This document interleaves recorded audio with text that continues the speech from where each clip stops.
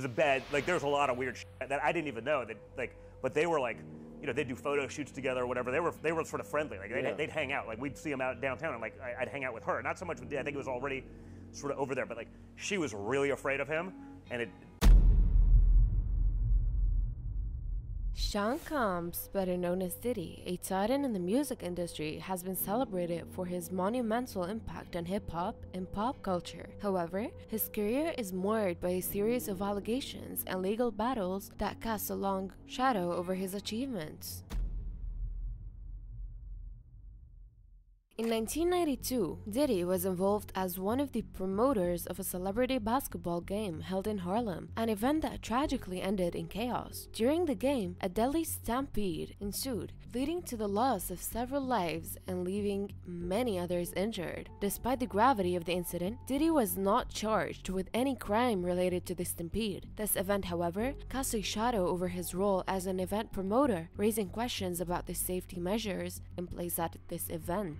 Seven years later, in 1999, Diddy found himself entangled in another legal controversy. This time, alongside his then girlfriend, Jennifer Lopez, the couple was arrested following a shooting incident at a New York City nightclub. In the aftermath of the chaos, Diddy was charged with criminal possession of a weapon and possession of stolen property. The night escalated tensions, leading to a high profile case that dominated headlines. Jennifer Lopez, caught in the crossfire of the legal and media storm, was detained for 14 hours, an ordeal that ended with her release. The case against Diddy progressed to court, where he faced serious charges. However, he was ultimately acquitted of all charges, allowing him to continue his career relatively unscathed. Tried to pay off R word accuser with eight figures.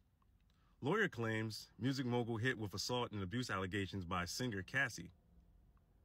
Okay. Sean Diddy Combs accused of R word and severe physical abuse by ex girlfriend Cassie. Word. 50 Cent comes for Diddy amid Cassie's lawsuit alleging R word and abuse.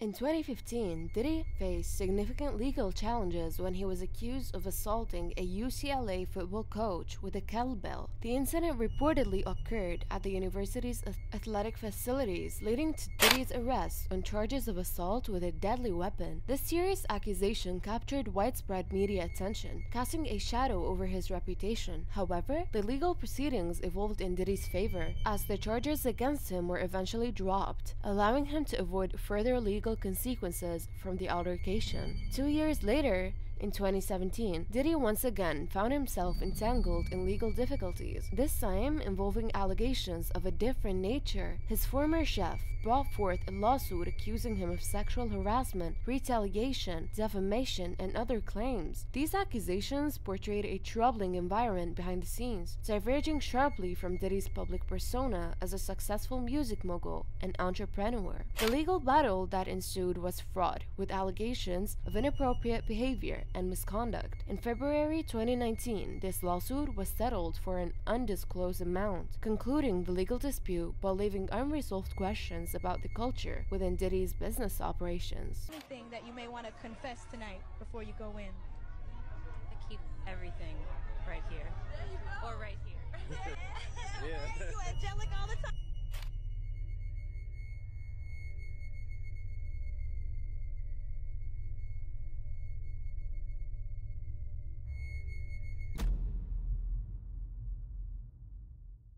In 2023, the relationship between Diddy and R&B singer Cassie Ventura took a dramatic turn when Ventura filed a lawsuit against Diddy, unveiling a disturbing narrative of alleged sexual assault and sex trafficking. According to Ventura, the ordeal began soon after she met Combs when she was just 19 years old. She detailed in her lawsuit how Combs not only controlled various aspects of her life, but also subjected her to repeated abuse. Ventura's claims are particularly harrowing. She alleged that Combs forced her to engage in sexual acts with other people while he recorded these encounters. The recordings further asserting his control by occasionally forcing Ventura to watch these videos, including some she believed had been deleted. This alleged behavior paints a stark portrait of abuse and manipulation, leveraging power and influence in deeply inappropriate ways.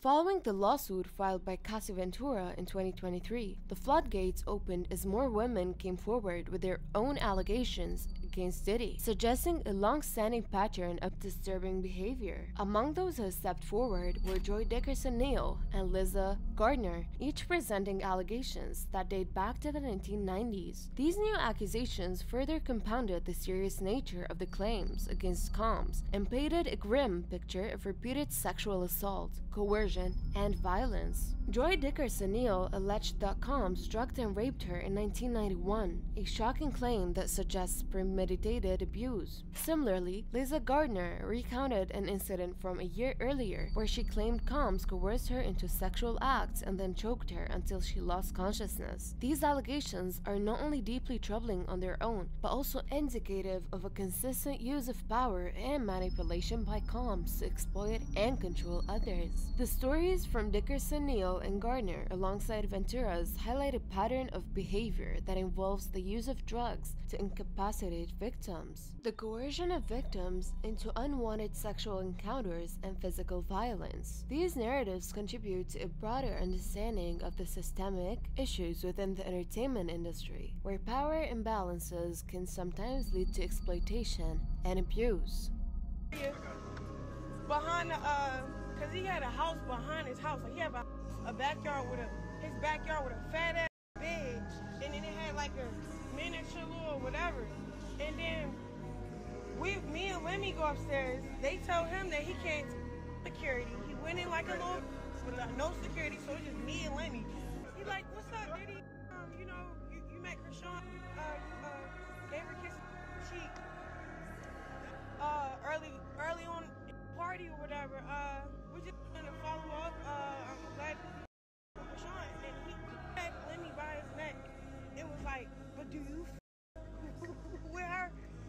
Look at the young Justin Bieber, how nervous and how scared he is.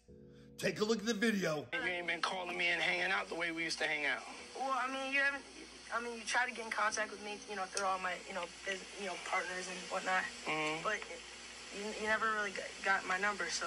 Right, Okay. My number? Yeah, yeah, I'm, I'm yeah, yeah. tell you my number. Yeah, yeah.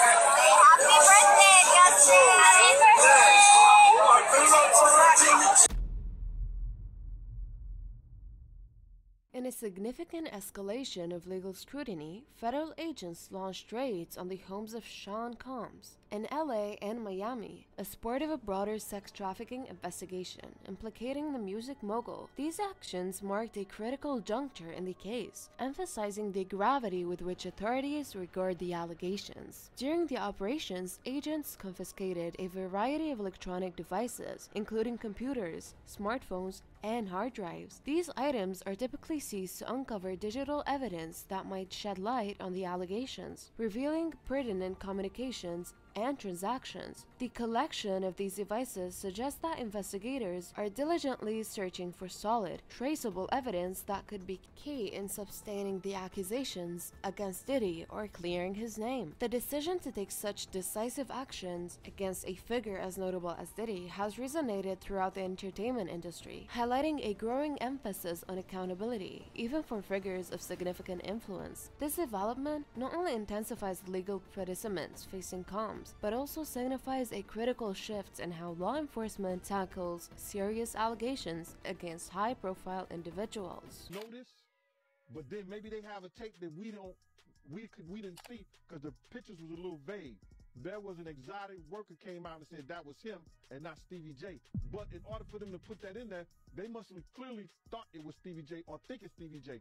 But you got to get this art. Check this out. He knew that this kid admired Stevie J and loved the work Stevie J had done in the industry in the past. This kid looked up to Stevie J. Now, what if Puff told him that that was Stevie J in the tape? been working on an album. Um, I took a year off straight working on this album. That album is the Love album, off the grid by Diddy.